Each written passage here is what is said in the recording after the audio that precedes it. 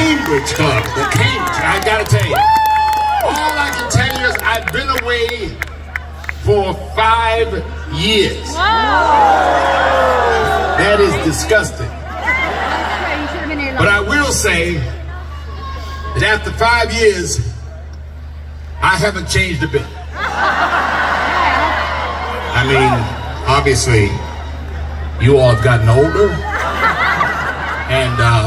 you look pretty good. But tonight we are going to have so much fun because I am so excited to be back touring. I have to tell you, it has been absolutely torture to be at home. My poor dog is wondering what the hell I'm going to do for a living. But tonight we are going to cover as many songs as I can remember